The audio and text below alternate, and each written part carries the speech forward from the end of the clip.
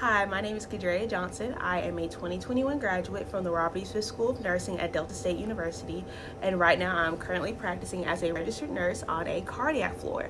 I am super grateful for my opportunity to go to Delta State because I really feel like I gained a lot of confidence and a lot of clinical skills while going through the nursing program, and it really shows in the care that I give my patients now.